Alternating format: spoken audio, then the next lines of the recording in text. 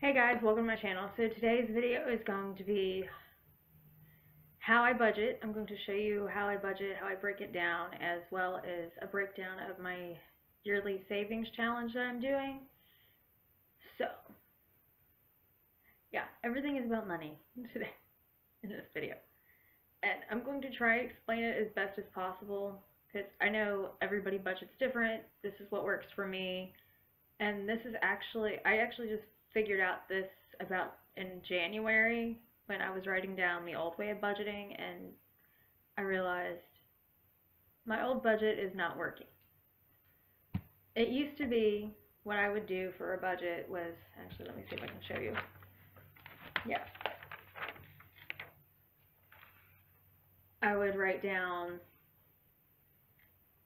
everything that I had and then at the bottom I would put my big savings account and put everything I put into it if I did. And then I'd put my deposits next to it and that just got all jumbled and not organized at all. And I will explain what the post-it note is later and then I would put all my expenses expenses down below it with what it was what account it came account it came out of how much and the date that it came out so that's the old way of budgeting. That was not working for me. So I'm going to show you the new way. But first I'm going to start with um, my categories of every year I try to do this. This doesn't get done every year, but I try to do it. Every year I write down what, because we all have those expenses that come out once so I wrote, so this is my category. I have my yearly expenses, and I write what it is, the month that it comes out, and the usual price. Then I put my monthly things, and a good estimate of how much they usually cost. And then I write down my others. And my others are gas, food, my medicine and supplements, and then I put an others category at the bottom. But next to these, I put how much I prefer to spend on these each month. Like for gas, I prefer to stick to 120 a month. For food, I prefer to stick to 50 a week because I do go grocery shopping every week. For meds and supplements, I try to stick to about 30 a month. And for other, I try to stick to $50 a month.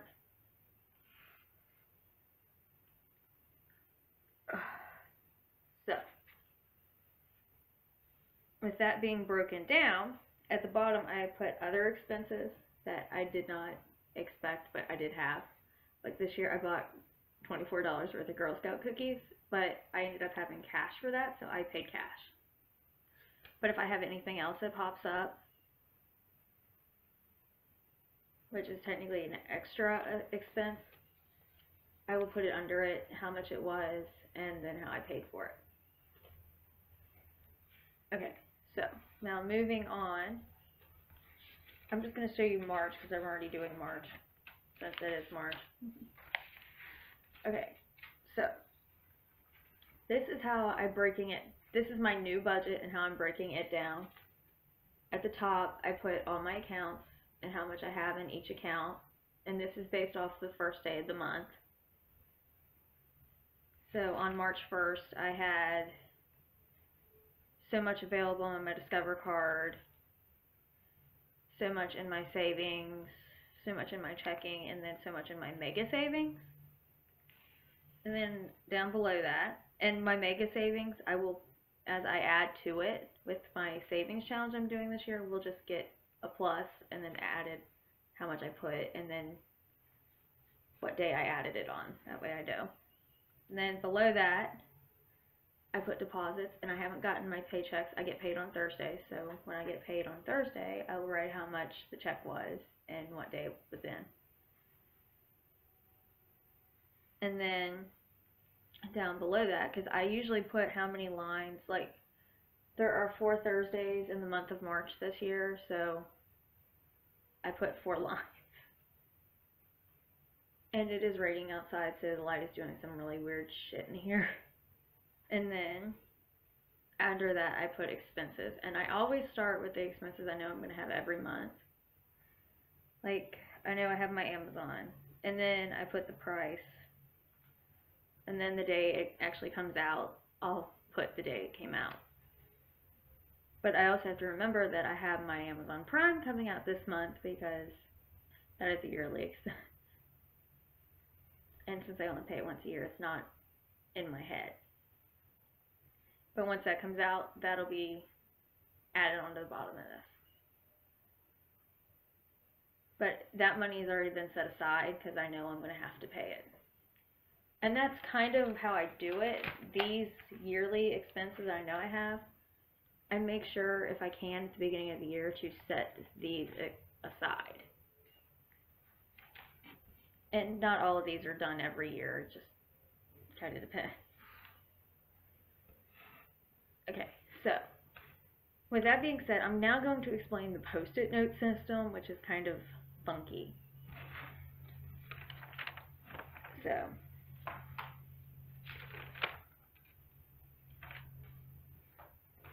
what I do is I, yeah, I'm going to use January because it's just easier. So that's what January's looks like. I added up how much I spent on gas, and that was the total. So I spent $55 on gas. I spent 73 on food. Then I added that up. And I subtract, and then I, in my head, I added up how much I wanted to spend in the categories. So, yeah. And then at the bottom were all my extras, and that's how I ended up at negative 102.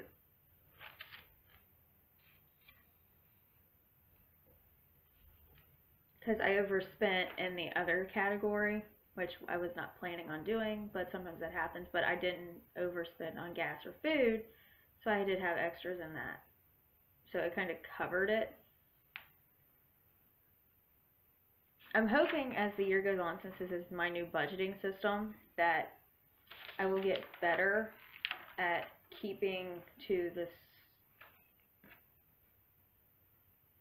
to the budget that I set up on all my other stuff and anything that I save out of these categories will get also put into my savings account. But in January and February I ended up in negative. So I didn't have any extra money to put aside, and I actually, in a weird way, owe myself money. But I'm not going to do that to myself. I'm not going to take anything out of my mega savings to pay myself back for what I went over. I'm just going to leave it because I do have money in my account.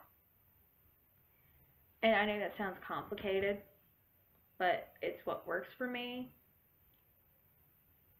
And I've seen other people do it, but this way it works for me.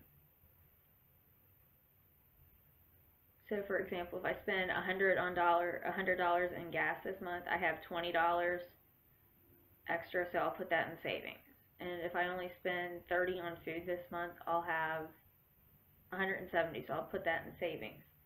But if I go over in my meds or my other category, I will also put that in there to balance out what I went over. And then if I have anything remaining, that goes into my savings. I hope that makes sense. Cause I'm trying to think of a way to explain it, and I don't really know how to explain it. Okay, so for my yearly savings challenge, because usually I like to do monthly savings challenges as well, but this year I chose a yearly one. And I chose the 52 week savings challenge, but I'm doing it a little bit different because it's supposed to be the first week you save a dollar, the second week you save two, and then by the 52nd week of the year you save $52. Well, that was not going to work for me.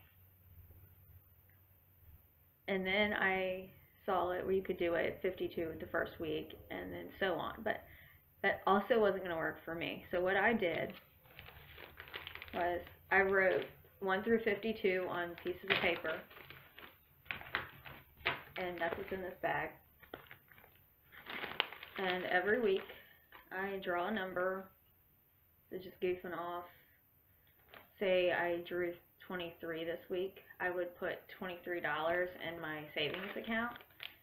And then the numbers I've drawn, instead of throwing them out, I just put them in this bag. In case I do want to do the same challenge next year. But, yeah. So, that's what I'm doing this year. That's how I'm budgeting, and that's my savings challenge. If you like this video, give it a thumbs up. If you have not done so already, hit the red subscribe button down below. Other than that, thank you for watching, and I'll see you in my next one. Bye-bye.